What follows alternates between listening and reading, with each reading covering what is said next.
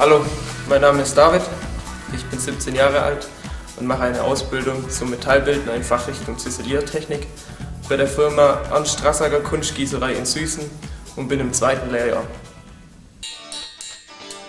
Durch ein Praktikum habe ich die Möglichkeit gehabt, den Beruf näher kennenzulernen und es hat mir sehr viel Spaß gemacht und es hat mir gezeigt, dass ich mehr über diesen Beruf wissen will.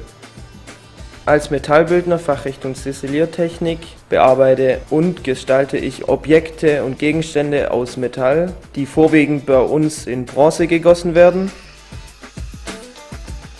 Wir verwenden ganz spezielle Werkzeuge wie zum Beispiel Punzen, Meißel, das sind Art Metallstifte, mit denen wir Gesichter, Konturen, Muskelpartien an figürlicher Darstellung sowie Ornamenten gefühlvoll herausarbeiten. Unsere Auftraggeber sind internationale renommierte Künstler in den Bereichen Kunst, Bildhauerei und Architektur.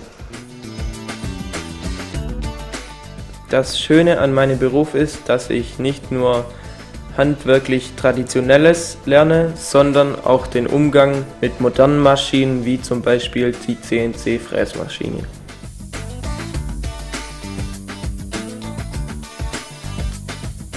Für den Beruf benötigt man handwerkliches Geschick. Man sollte etwas Kreativität mitbringen und sollte Spaß am Arbeiten mit verschiedenen Metallen haben.